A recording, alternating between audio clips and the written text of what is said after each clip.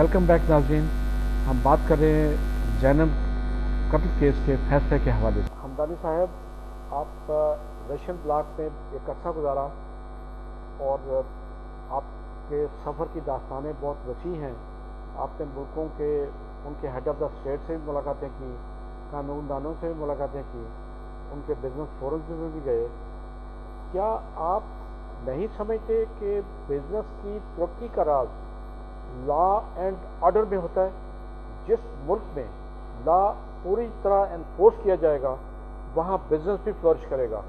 اور جہاں لا نہیں ہوگا، لا قانونیت ہوگی، وہاں بزنس نہیں بکے گا۔ مثلا دبئی کی مثال آپ کے سامنے ہے۔ دبئی نے صرف اپنا زمین نہیں بیچی، مکان نہیں بیچے، اس نے لوگوں کو سکون بیچا ہے۔ اس نے لوگوں کو پروٹیکشن بیچی ہے۔ تو آپ بتائیں کہ ہم کب تک اس سطح تک پہنچیں گے جہاں ہر بندہ اپنے آپ کو پروٹیکٹڈ محسوس کرے گا اور مجرم سمجھے گا کہ میں کسی سفارش، کسی پیسے سے نہیں بچ سکوں گا۔ تھینک یو بٹالی صاحب، مجھے اس گفتگو میں شریک ہونے کا آپ نے موقع دیا۔ یہ بہت ہی اہم سوال ہے اور بنیادی طور پہ یہ کسی بھی ریاست کی مجموعی ساخت سے تعلق رکھتا ہے کہ اس کا انصاف کا نظام کن اصولوں پہ استوار ہے۔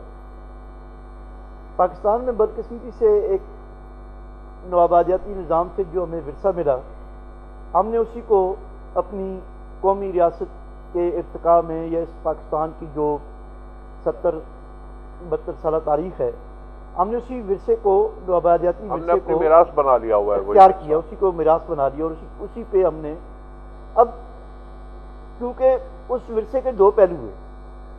پہلا یہ پہلو ہے کہ وہ ایک اس زمانے کے ایک ترقی یافتہ جو ریاست تھی برطانوی، جس کے صنعتی انقلاب کے بعد جو بنیادی طور پہ صنعتی انقلاب کو اس کو اس کو ماں بھی کہا جاتا ہے۔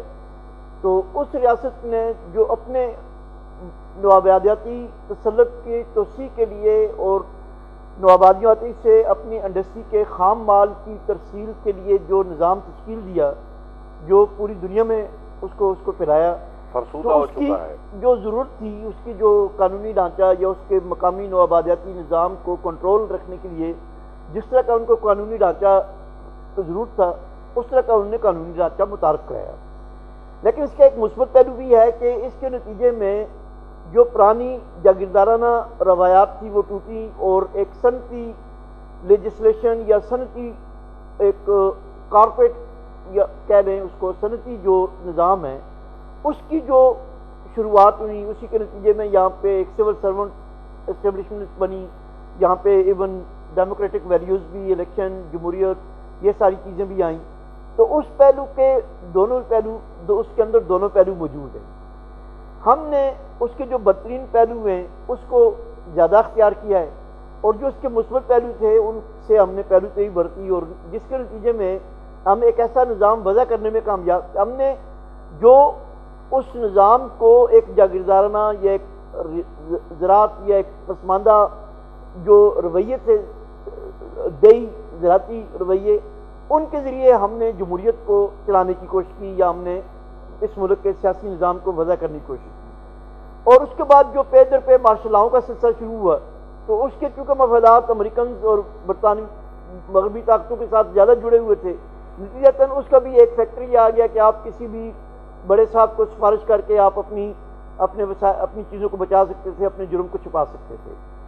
مشرقی یورپ میں مجھے ان کے قانونی نظام کو یا پولیس یا ان چیزوں کو دیکھنے کا اتفاق ہوا۔ وہاں جب پولیس کوئی آپریشن کرتی ہے تو پولیس مین نے ماسک پہنے ہوئے ہوتے ہیں۔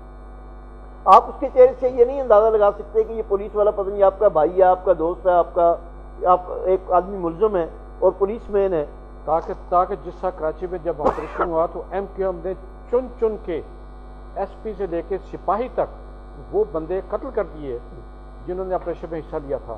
لیکن آج تک ان قاتلوں کو کوئی نہیں کچھ کہا جا سکا تاکہ حکومتوں کو ان کے ووٹ ملتے رہیں تو پولیس نے جب ماسک پہنے ہوتے ہیں تو اس کے پاس آپ وہ اس کا کوئی رشتہ نہیں ہے۔ اس کا ملزم کا اور پولیس مین پولیس مین ریاست کی نمائندگی کر رہے ہیں قانون کی نمائندگی کر رہے ہیں اور اس کا ملزم کے ساتھ بطور پولیس مین کوئی رشتہ نہیں ہے۔ ہو سکتا ہے اپنی ذاتی زندگی میں اس کا سگا بیٹا یا باپ یا بھائی کیوں نہ ہو۔ لیکن بطور پولیس میں اس کا اس کے ساتھ کوئی رشتہ نہیں۔ ہے دوسری جو چیز ہے، جب پولیس ایویڈنس جمع کرتی ہے کرائم کو کرتی ہے، اس کے بعد وہ تمام چیزیں پروسیکیوشن کے حوالے کر دیتی ہے۔ اب پروسیکیوشن ایک الگ ایک الگ پروسیس ہے۔ پروسیکیوشن کا پولیس کے ساتھ کوئی تعلق نہیں ہے۔ پروسیکیوشن پولیس سے آزاد ہو کے اپنی انویسٹیگیشن کرتی ہے اور عدالت میں کیس پیش کرتی ہے۔ اور عدالت میں جو کیس جو ہے، وہ پروسیکیوشن جو ہے وہ ایک انڈیپینڈنٹ اس کا ایک الگ ڈپارٹمنٹ ہے یعنی پولیس کا ڈپارٹمنٹ الگ ہے اور پروسیکیوشن کا ایک الگ جو ایک الگ ڈپارٹمنٹ ہے۔ تو جو یعنی جیسے مطلب ہمارے یہاں عدالتیں انتظامیہ عدالتیں مقنن پارلیمنٹ ہے، اسی طرح پروسیکیوشن بھی ایک انڈیپینڈنٹ انٹیٹی ہے۔ تو وہ جب انویسٹیگیٹ کرتی ہے، تو اس میں لوگوں کو یہ بھی پتہ نہیں ہوتا کہ کون سا پروسیکیوٹر ہوگا یا میرا کیس کس پروسیکیوٹر کے پاس ہوگا یا کن چیزوں کے پاس ہوگا۔ اس کے بعد عدالتوں کا پروسیس آتا ہے۔ تو وہاں تو یہ نظام اور اس کے ساتھ جو اوور آل یہ کہ پوری جو ریاستی ساخت ہے، اس کے اندر اس کی کوئی نہ کوئی اخلاقی موجود ہے، کیونکہ وہاں پہ almost ninety nine percent literacy rate ہے۔ اور لٹریسی ریٹ سے مراد یہ ہے کہ ہمارے یہاں مطلب منیمم ان کے یہاں جو ایجوکیشن ہے وہ ہائی اسکول خیر ہی ہے۔ یعنی پی ایچ ڈی ڈگری ہیں، لوگ ہیں، تعلیم یافتہ لوگ ہیں۔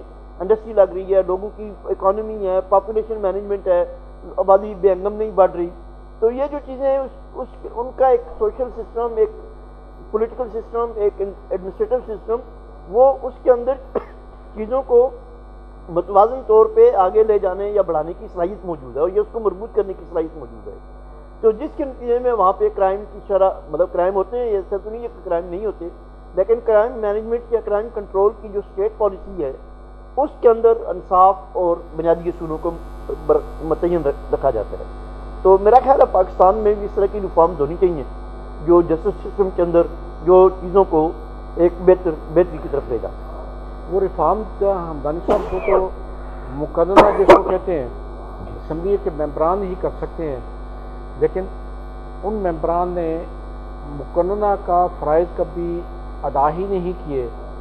وہ تو سڑکوں میں انٹرسٹڈ ہیں گلیوں میں انٹرسٹڈ ہیں ایس ایچ او لگوانے میں انٹرسٹڈ ہیں اپنے ضلع کے ایس پی لگوانے میں انٹرسٹڈ ہیں۔ انہیں تو شاید یہ بھی نہیں پتا کہ مقننہ کے فرا کے کی حیثیت سے مقدمہ کے ممبر کی حیثیت سے ان کے فرائض کیا کیا ہیں اور وہ کب تک اس ان فرائض سے دور رہیں گے۔ یہ بھی ایک طرح کا اربن فیوڈلزم ہے۔ فیوڈلزم صرف زمینداری یا زراعت کا نام نہیں ہے یہ ایک رویے کا نام ہے۔ تو یہ ایک اربن فیوڈلزم ہے، جو پاکستان کے اندر مطلب ڈومینیٹ کرتا ہے۔ پاکستان کی پالیٹکس کے اندر اور پاکستان کی جو ریاستی طاقت ہے، اس کے اندر ایک ارب ایک ایک طرح کا ایک کارپوریٹ فیوڈلزم یا اربن فیوڈلزم یا کمرشل فیوڈلزم آپ یہ یہ ڈومینیٹ کرتا ہے پاکستان کی پورے ریاستی ڈھانچے کے اندر۔ تو اس کے نتیجے میں جو جو صورتحال پیدا ہوتی ہے اس کے نتیجے میں تو پاکستان کے اندر ایک بڑے پیمانے پہ ریفارمز کی ضرورت ہے۔ سب سے پہلے پولیٹیکل ریفارمز ہیں اس پولیٹیکل ریفارمز کے نتیجے میں پاکستان پولیٹیکل ریفارمز کا بھی تعلق محض پارلیمنٹ سے نہیں ہے، بلکہ سب سے پہلے یہ سیاسی پارٹیوں سے ہے۔ سیاسی پارٹیوں کی جو تشکیل ہے اور اس کے اندر جو لیڈرشپ کا جو امرج ہونے کا پروسیس ہے، وہ ایک کسی انسٹیٹیوشنلائز ہونا چاہیے۔ یہ جو خاندانوں کے خاندان، ایک باپ مرتا ہے تو اس کی بیٹا سیٹ پہ ایم این اے کا کینڈیڈیٹ بن جاتا ہے۔ پارٹی کی لیڈر مرتا ہے تو پارٹی لیڈر کی جگہ اس کا بیٹا پارٹی کا لیڈر بن جاتا ہے۔ تو یہ جو پولیٹیکل پارٹیز کا یہ جو سسٹم ہے، یہ تبدیل ہونا چاہیے۔ اور اس کی جگہ پارٹی کے اندر ایک جو worker base cadre base parties develop ہونی چاہیے، جو پارٹیوں کی لیڈرشپ پارٹی کے دس بیس سالہ جدوجہد کے اندر لوگ پارٹیوں کے اندر اسٹرگل کر کے نیچے آئے۔ اباما کو کوئی بھی نہیں جانتا تھا، لیکن وہ امریکہ کا پریزیڈنٹ بن گیا۔ ٹرمپ، یہ سب لوگ آٹھ سال، دس سال اپنا دور ادا کرتے ہیں، واپس چلے جائے اس کے بعد ان کا تاریخ میں ایک نام ضرور موجود ہوتا ہے۔ تو اور پارٹی کا لیڈر کون ہے؟ پریزیڈنٹ کون ہے؟ یہ کوئی کوئی نہیں جانتا کہ پارٹی اگلے الیکشن میں کس کو لیڈر نامینیٹ کرے گی۔ تو یہ جو پروسیس ہے ود ان پارٹیز ریفارم ایک یہ بہت امپورٹنٹ چیز ہے۔ پارلیمانی نظام کے اندر ریفارم پاکستان کا جو پارلیمنٹری سسٹم ہے، یہ برطانوی پارلیمانی نظام سے اخذ تو ضرور کیا گیا ہے، لیکن اس کی اس کے کے میں موجود جو منفی رجحانات موجود ہیں، ان کا اس کے اندر بھرپور استعمال کیا جاتا ہے۔ یہاں پہ اخلاقیات نہیں ہیں، یہاں پہ پارٹی کے ساتھ یا چیزوں کے ساتھ یہاں پہ گروئی مفادات کے تحت لوگ آگے بڑھ رہے ہوتے ہیں۔ پھر پاکستان کی اس اس سسٹم کو بھی یعنی جو ایڈمنسٹریٹو سسٹم ہے اس کو بھی ری ایڈریس کرنے کی ضرورت ہے۔ تو جب تک پاکستان کا overall political system parliamentarian system اور ریاست کے جو انسٹیٹیوشنز ہیں ان کے درمیان ریلیشنز کا ایک مکمل پیکج متعین نہیں ہوگا یا ایک سیٹ اپ متعین نہیں ہوگا تو کانسٹیٹیوشن پوری طرح اس کو ایڈریس نہیں کر رہا یا ایڈریس کر رہا ہے تو اس کی رسپیکٹ صاحب یہاں وہ کہتے ہیں نا کس کس چیز کو روؤں کس کس چیز کو پیٹوں؟ یہاں آپ سڑکوں پہ چلے جائیں تو آپ کے سامنے ایک موٹر سائیکل والا، وہ سانپ کی طرح لہراتا ہوا، بل کھاتا ہوا جا رہا ہے۔ دوسرا بھی اس کا پیچھا کر رہا ہے۔ تیسرا کسی بچھو کی طرح سڑک پہ ٹہل رہا ہے۔ کوئی بارہ سال کا بچہ موٹر سائیکل چلا رہا ہے، کوئی آٹھ سال کا بچہ موٹر سائیکل چلا رہا ہے، کوئی تیرہ سال کا بچہ گاڑی چلا رہا ہے۔ یہ اس طرح کا آپ نے کسی ملک کی نفسیات جاننا ہو تو اس کی ٹریفک پہلے اسیس کر لیں۔ ٹریفک سے پتہ چل جائے گا کہ کیا وہ ملک قانون کی پابندی کرتا ہے، یا وہاں ایسے لوگ، ایسے شہری رہتے ہیں جو ذمہ داری کا مظاہرہ کر سکیں۔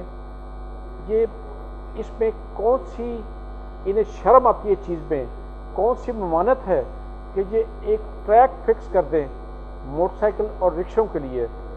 کہ جو جس سے ٹریفک نہ رکے، ٹریفک رواں رہے اور اگر یہ ارب ہار ڈالر خرچ کر کے ایک سو بیاسی ڈالر کی، ایک سو ایک سو بیاسی بلین ڈالر، ایک سو بیاسی بلین کی اورنج ٹرین بنا سکتے ہیں، تو ایک ٹریک نہیں بن سکتا تھا موٹر سائیکلوں کے لیے، جو نائنٹی پرسنٹ حادثات کے پیچھے آپ دیکھیں گے کہ اگر گاڑی کا حادثہ ہوا ہے تو موٹر سائیکل والے کو بچانے کے چکر میں ہوا ہے۔ اگر کہیں کلا بازیاں لگی ہیں تو موٹر سائیکل والے کو بچانے کے چکر میں ہوا آپ کو نائنٹی پرسنٹ حادثات موٹر سائیکل کی وجہ سے نظر آئیں گے، یا ان کم سنٹ ڈرائیوروں کی وجہ سے، یا لائسنس جو نہیں رکھتے ان کی وجہ سے۔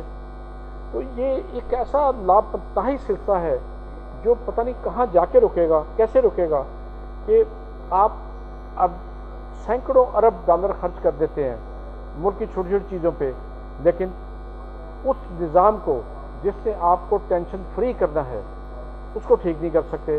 آج کی خبر ہے کہ گجرات میں ایک اور عورت نے ہاسپٹل کے گیٹ پہ بچے کو جنم دے دیا، کیونکہ اس کا داخلہ نہیں مل رہا تھا۔ یہ کون سے میٹرو چاہتے ہیں؟ یہ کون سی اورنج ٹرینیں چلانا چاہتے ہیں؟ جہاں ان کی مائیں بہنیں سڑکوں پہ بچے بچے پیدا کر رہی ہیں، جہاں کسی کو کوئی دوائی سے محتاج ہو کے سسے سسے مر رہے ابھی بھی پاکستان میں ایسے علاقے موجود ہیں اور سردار صاحب میں سمجھتا ہوں کہ آپ کے علاقوں میں ایسے لوگ موجود ہوں گے جو دوائی کا نام بھی نہیں جانتے، جو کہتے ہیں کہ یہ اللہ نے پیدا کیا، اللہ ہی سنبھالے گا، اللہ ہی زندہ رکھے گا، اللہ ہی دوائی دے گا اور اللہ ہی ان کی زندگی کا محافظ ہے۔ آپ کیا سمجھتے ہیں کہ یہ ہر چیز اللہ سپورٹ کر دینے سے حکمران اپنے آپ کو تو یورپ کے سپورٹ کر دیتے ہیں کہ وہاں جا کے پراپرٹیاں خرید لیں، ان کو اللہ کے سپورٹ کر رہے ہیں۔ یہ کب تک سلسلہ جاری رہے گا؟ احسان بٹالوی صاحب، میں اب تو بہت دور کی طرف چلے گئے۔ بنیادی طور پہ ہمارا نظام جو ہے، وہ نو آبادیاتی نظام کو ہم نے ابھی تک اپنے شکنجے میں رکھا ہوا ہے۔ ہم اپنے آپ کے لیے ابھی تک نہیں سوچ سکے۔ ہم نے گورے کے ٹائم وقت سے جو ہمارے اوپر نظام مسلط کیا گیا تھا، ہم ابھی تک اسی نظام سے چپٹے ہوئے ہیں۔ اور احسان بٹالوی صاحب، جب آپ اپنے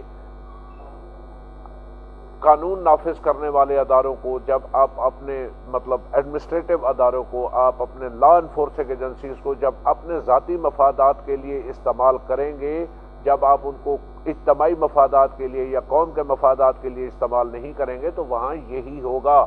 جب آپ کی دو دو ایک ایک دو چیزیں اور بھی ایڈ کر دیتا ہوں۔ ابھی تک تھانوں میں بجٹ جاتا ہے اسٹیشن نہیں جاتی۔ اسٹیشن وہ شکایت لے کے جانے والے سے کہتے ہیں جی دو دستے کاغذ کے لا دو اتنی پینشن لا دو. اسی طرح آپ جو تفتیشی ہے آپ کسی سے حلف دلا دیں کہ اس کو ٹی اے ڈی اے ملا ہو۔ ٹی اے ڈی اے پے ہوتا ہے لیکن کس کے گھر جاتا ہے؟ وہ آپ بھی جانتے ہیں میں بھی جانتا ہوں۔ ہمارا المیہ یہی ہے کہ یہاں کاغذوں کی حد تک کاروائیوں کی حد تک سب کچھ لکھا جاتا ہے سب کچھ ہر چیز زمرے میں آتی ہے لیکن عملاً ایسا کچھ نہیں ہوتا۔ آپ نے کام عمر ڈرائیوروں کی بات کی تو کام عمر ڈرائیور جو ہے، ان کو پتا ہے کہ یہاں لا قانونیت عروج پر ہے۔ کسی پولیس والے نے نہیں روکنا، اگر کسی نے روکنا ہے تو اس نے بیس پچاس روپے لے کے ان کی جان چھوڑ دینی ہے۔ کسی نے لائسنس نہیں پوچھنا۔ میں آپ کو اپنی ذاتی مثال سے آگاہ کرتا ہوں کہ مورے، مجھے آج تک چوتیس سال کے عرصے میں پورے پاکستان میں کہیں ڈرائیونگ لائسنس، کہیں گاڑی کے پرمٹ، کہیں گاڑی کے رجسٹریشن کے لیے پورے پاکستان میں کہیں نہیں روکا گیا۔ میں پاکستان کا ایک عام شہری ہوں۔ پاکستان کے قانون نافذ کرنے والے اداروں کا حق بنتا ہے کہ بھائی تم منہ اٹھا کے جا رہے ہو، کہاں سے آئے ہو، کون ہو؟ مجھے آج تک کسی نے نہیں روکا۔ تو آپ وہاں قانون نافذ کرنے والی؟ محترم بھائی بات صرف جو ہے، وہی نظام جو جیسے ہمدانی صاحب ابھی کہہ رہے تھے، نوآبادیاتی نظام، انہوں نے تو اپنے مفادات کے لیے بنایا تھا۔ اور بدقسمتی سے جب وہ بنانے والے چلے گئے تو جو ہمارے اوپر جو لوگ مسلط ہیں، انہوں نے اپنے مفاد اسی نظام سے وابستہ کر لیے انہوں نے نظام کو درستگی کی طرف جانے ہی نہیں دیا۔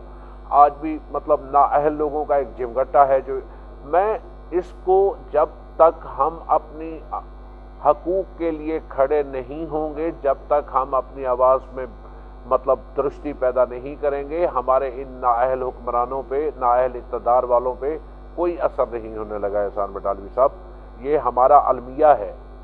ہم بدقسمت قوم بنے ہوئے ہیں اس وقت۔ ہم اپنی قسمت خود ہی بدل سکتے ہیں۔ جب ہم کریں گے اس طرف۔ کسی نے ہم سے مطلب اس بات وہ ہمارے اقتدار والے لوگ تو خوش ہیں۔ ہماری بیوروکریسی بھی خوش ہے۔ ان کے سارے مسائل حل ہو رہے ہیں۔ وہ اپنا سسٹم نظام چلائے جا رہے ہیں۔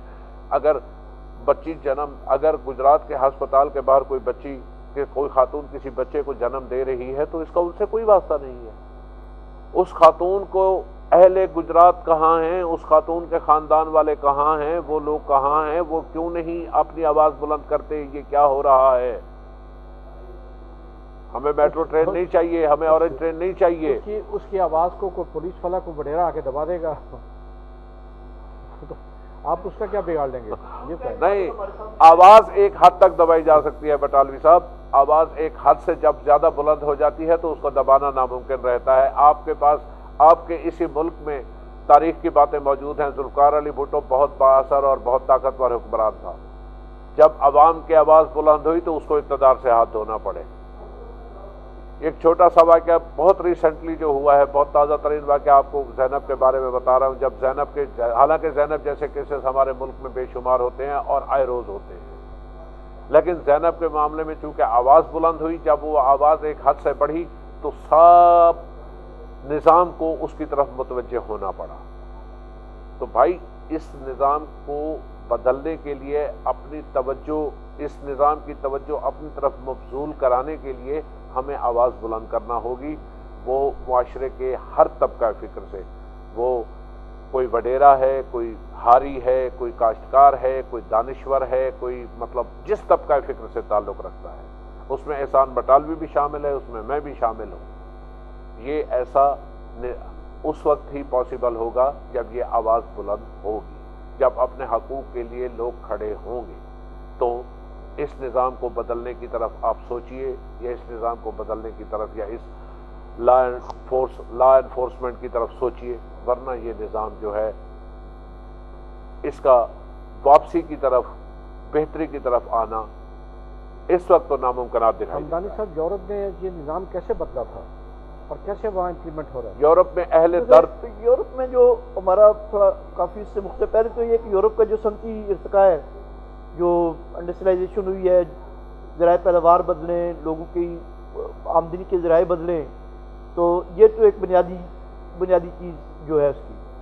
اس کے بعد اس کے ساتھ ساتھ وہاں جو سماجی تحریکیں چلی، خاص طور پہ جو سوشل ڈیموکریٹک موومنٹس ہیں انیسویں صدی کی، پھر مارکسزم کے جو بہت بڑے اثرات ہیں، جو یورپ کی ریفارم کا ذریعہ بنا کہ لوگ، لوگوں کو بنیادی حقوق دیے جائیں، وہاں پہ فلائی ریاست کا تصور پیدا ہوا۔ تو یہ جو چیزیں ہیں، اس نے یورپ کی ایک ایک ایسی نئی ٹرانزیشنل جو امپائر سے تھے، جو نیشنل اسٹیٹ جو ہیں۔ اب نیشنل اسٹیٹ کا بننے کا جو عمل ہے، وہ اس حوالے سے بہت ہی امپورٹنٹ ہے۔ نیشنل اسٹیٹ اس اصول پہ قائم ہوتی ہیں کہ اس کے اندر رہنے والے تمام شہری جو ہیں، وہ برابر کی، ان کے برابر کی شہری ہیں، برابر کے حقوق ہیں۔ ہمارے یہاں تو پہلے ہمارا آئین ہی ایک تقسیم کرتا ہے، آبادی کے کسی کو اقلیت اور ایک کو اقلیت قرار دے دیتا ہے۔ حالانکہ جو پاکستانی شہری ہے، بطور شہری، اس کے اندر اس کے بھی وہی حقوق ہونے چاہیے جو کسی دوسرے شہری کے ہو سکتے ہیں۔ ہم نے پاکستان کے اندر جس طرح سے عقیدے کو ریاست اور سیاسی مفادات کے لیے استعمال کیا ہے مذہب کو یعنی اس ملک کے بننے سے لے کے آج تک، بنیادی طور پہ وہ بھی ایک ایک ایسا مسئلہ ہے جو ریاست کے بیانیے سے تصادم رکھتا ہے۔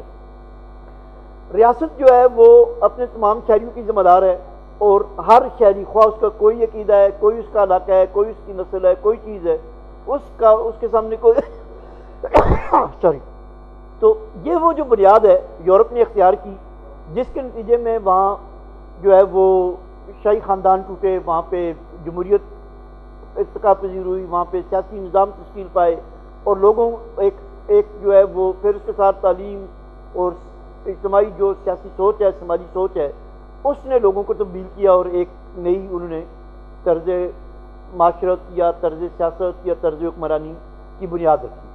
ہمارے یہاں کیونکہ یہ ساری چیزیں ایک تو جاگیردارانہ فیوڈل جو ایون مطلب ہے فیوڈل میں اس کی زمینوں کی حد تک نہیں رہتا، یہ ایک ذہنیت کی بات کر رہا ہوں، فیوڈل ایک ذہنیت کی بات کر رہا ہوں کہ جس میں ہر چیز کو مناپلائز کرنے کی اور ہر چیز کو اپنی ملکیت میں لانے کی سوچ ہوتی ہے۔ جیسے ہم ایون خاندان میں بھی دیکھیں تو ہمارے اپنے بچوں کے ساتھ ہمارے رویے فیوڈل ایٹیٹیوڈز ہیں کہ ہم پوری فیملی کو بچوں کو اس طرح سے ملکیت سمجھتے ہیں کہ وہ اپنے فیصلے خود نہیں کر سکتے۔ یعنی وہ ان کو جو ہے، یہ خاص طرح کی یعنی ہمارے ہر طرح کے نظام، ہر طرح کی چیزوں میں وہ ایگزسٹ کرتی ہے، وہ جو ذہنیت ہے۔ تو جب تک اس ذہنیت کو تبدیل کرنے کے لیے اس ملک کے جو وسائل کی اثر تشکیل و نو نہیں ہوتی اس ملک کے جو سیاسی نظام ہے، اس کی تشکیل نو نہیں ہوتی۔ تو میرا خیال نہیں ہے کہ یہاں کوئی چیزیں بہتری کی طرف جا سکتی۔ کیا ہم اس سے سردار صاحب یہ نہیں کہہ سکتے کہ عوام اپنے حقوق سے نا آشنا ہیں اور وہ اپنے ووٹ کا صحیح استعمال نہیں کرتے تاکہ ان کے جو نمائندے اسمبلی میں جائیں، وہ درد دل رکھنے والے لوگ ہوں، انہیں انسانیت کی فلاح سے غرض ہو۔ انہیں اپنے علاقے اور اس کے بعد پاکستان کی فلاح سے غرض ہو۔ تو یہ لوگ لوگ کب تک جاگیں گے؟ یہ تو بتائیں گے آپ۔ ہاں، ہاں، احسان بٹالی صاحب، آپ بالکل درست تجزیہ فرما رہے ہیں کہ باقی اسی ہم اسی کشمکش کا شکار ہے ہمارے عوام الناس میں یہ شعور یا ادراک پایا ہی نہیں جاتا۔ میں بنیادی مسئلہ پھر وہی آ جاتا ہے، جب تک آپ اس بنیادی ڈھانچے کو کمزور نہیں کریں گے جو ہم پہ مسلط کر دیا گیا ہے، یہ چیزیں ہو رہی ہے، بتدریج تبدیلی آ رہی ہے، لوگ آہستہ آہستہ آگاہی کی طرف جا رہے ہیں، تعلیم کی ریشو کچھ بہتر ہو رہی ہے، لیکن خدارہ جب تک یہ وی آئی پی کلچر، جب تک آپ وی آئی پی وارڈز ہسپتالوں سے ختم نہیں ہوں گے، جب تک سکولوں میں کلاس ڈفرنس یا سلیبس کا نظام ختم نہیں ہوگا، آپ ایک بچے کو لاہور گرامر سکول جیسے ادارے میں پڑھنے دیں اور دوسرے بچے کو آپ پرائمری سکول میں پڑھائیں گے، تو آپ اس بچے کی گرومنگ کے بارے میں ایک جیسا ان کا موازنہ نہیں کر سکتے۔ اگر آپ وہی نظام اپنائے ہوئے ہیں کہ وڈیرے کے بچے کو شروع سے احساس دلا دیا جائے کہ یہ سب تمہاری رعایا ہیں اور انہوں نے تمہیں اوبے کرنا ہے، جب تک یہ ایسے نظام کلچر ختم نہیں ہوں گے، یہ بنیادی تبدیلیاں نہیں آئیں گی۔ احسان مٹالوی صاحب، آپ جیسے فکر رکھنے والے لوگوں کو، آپ جیسے جو ہے مطلب تجزیہ نگاروں کو، آپ جیسے اینکر پرسنز کو اس بارے میں بار بار پروگرام کرنے چاہیے، لوگوں کو آگاہی دینی چاہیے، لوگوں کو اپنے حقوق کے متعلق بتانا چاہیے۔ تو جب تک یہ یہ سلسلہ نہیں ہوگا، میں نہیں سمجھتا کہ کوئی بڑی تبدیلی آئے گی۔ جب تک یہ کلاس ڈفرنس ختم نہیں ہوگا، جب تک وی آئی پی کلچر ختم نہیں ہوگا، جب تک آپ آپ اپنے حکمرانوں سے کبھی کسی نے سوال کیا ہے کہ اپنے علاج کے لیے کیوں لندن جاتے ہو؟ سے سوال کریں کہ آپ کے لندن کے فلیٹ کیسے بن گئے؟ آپ کی دبئی کی پراپرٹیز کہاں سے بن گئی؟ تو کہتے ہیں کہ آپ کون ہوتے ہیں؟ ہمیں پوچھنے والے کہ ہماری اخراجات ہماری انکم سے زیادہ ہے تو لوگوں کو کیا اس سے؟ مطلب پھر یہ جواب حکمران دیں گے تو وہاں عوام تو بیچارے پھر چپ کر جاتے یہاں تو عوام کو چاہیے تھا نا ان سے پوچھیں کہ بھائی کیسے ہو گئے؟ ایک پٹواری کو تم پکڑ لیتے ہو ایک تھانے دار کو پکڑ لیتے ہو کہ تمہارے اخراجات تمہاری انکم کے مقابلے پہ زیادہ کیسے ہیں۔ جائے گا۔ تو جو پبلک بڑے تبدیلی کی لہر ایسا پکڑا جا سکتا ہے؟ احسان بٹالوی صاحب یہ تعلیم کے فقدان کی وجہ سے ایسا ہو رہا تھا۔ اب جو جو تعلیم کی ریشو بڑھتی جا رہی ہے نوجوان طبقہ آگاہ ہوتا جا رہا ہے تو اس میں بہتری کی طرف گامزن ہوتا جا رہا ہے۔ نہیں سردار صاحب میں آپ سے ہے۔ اختلاف کروں گا۔ جہاں پاکستان میں اب جو پالیٹکس آ چکی ہے وہ الیکٹیبل کی پالیٹکس ہے۔ ٹھیک اگر آپ الیکشن کا موازنہ کریں کہ نائنٹین سیونٹی کے جو الیکشن تھے جس میں جب جو کینڈیڈیٹ ہیں یا ان کے جو یعنی بالکل عام مڈل کلاس کے کینڈیڈیٹ سے الیکشن جیت گئے۔ لیکن ایٹی فائیو کے الیکشن میں جو ہیں، وہ ایک بڑا ٹرننگ پوائنٹ ہے جب ایٹی فائیو میں غیر جماعتی بنیادوں پہ ایسے لوگوں کو یعنی جو ایک پاکستان کی روایتی معنوں میں یا ایک مثبت سوچ رکھنے والی جو لوگ ہیں، یا سیاسی پارٹیاں، یا قیادت کی، یا افراد تھے، ان کو طاقت کے ذریعے، ریاستی طاقت کے ذریعے الیکشن کے پروسیس سے باہر رکھا گیا اور اس کی جگہ ایسے لوگ جو اس وقت کے جو فوجی آمریت تھی، جنرل یار کی اس کی ضرورت تھی انہوں نے ایسے لوگوں کے سامنے لے- یعنی ان کا کردار، اس میں بدماش لوگ بھی آئے، اس میں کرمنل لوگ بھی آئے، ان کو پولیٹیکلائز کیا۔ وہ پولیٹیکلائز ہوئے ایٹی فائیو کے الیکشن میں۔ اور پھر اس کے نتیجے میں یہ جو آج کی قیادت ہے نائنٹین ایٹی فائیو یہ تمام کی تمام سیاسی قیادت جو آج ہمارے اس ملک کو صدر وزیر اعظم سے لے کے رول کر رہی ہے، یا یہ جنرل یا کی مجلس شورا کی پیداوار ہے یا یہ نائنٹین ایٹی فائیو کے الیکشن کی پیداوار ہے تو پاکستان کا یہ جو خاص دور ہے مجلس شورا اور 1985 کے الیکشنز کا اس کو بھی ایک اسٹڈی کرنے کی ضرورت ہے کہ اس کے کیا آج ہاں جی۔ پاکستان کیا نتائج اس کے بھگت رہے اور اس کے نتیجے میں جب آپ اداروں سے بہت سے لوگ سوال کرتے ہیں کیا ادارے آج پھر دوبارہ اسی طرح جو انہوں نے مجلس شورا بنا کے اور 85 کے غیر جماعتی الیکشن کروا کے حمدانی صاحب جی۔ یہ موضوع تو ایسا ہے جس پہ ہم جب تک ہر پبلک کے ہر بندے کو آگاہ نہیں کریں گے وہ اور وہ تیار نہیں ہوگا ذہنی طور پہ تو ہم ساری کوششیں لا حاصل ہوں گی لیکن ہمیں اپنی کوشش جاری رکھنی ہے۔ ہم وقت کی کمی کے باعث اپنا پروگرام ختم کرنا چاہ رہے ہیں۔ ناظرین ہماری تو کوشش یہی ہے کہ آپ اپنے ووٹ کا صحیح استعمال کر کے صحیح نمائندہ لائیں۔ تاکہ آپ کو قانون کی حکمرانی نظر آ سکے اور آپ کو آپ کے حقوق مل سکے۔ شکریہ۔ اللہ ناظرین، ہم نے کوشش کی کہ ملک میں قانون کی حکمرانی اور بڑھتی ہوئی لا قانونیت کے بارے میں عوام کو آگاہ کر سکیں عوام کو ان کے حقوق کا واسطہ دے کے انہیں بتا سکیں کہ اپنے ووٹ کا صحیح استعمال کریں، تاکہ ملک میں قانون کی حکمرانی کی خواہش رکھنے والے لوگ آگے آئیں اور اس ملک کی ترقی کا باعث بنیں اور لوگوں کے حقوق ان تک پہنچائیں بہت شکریہ۔ اللہ حافظ۔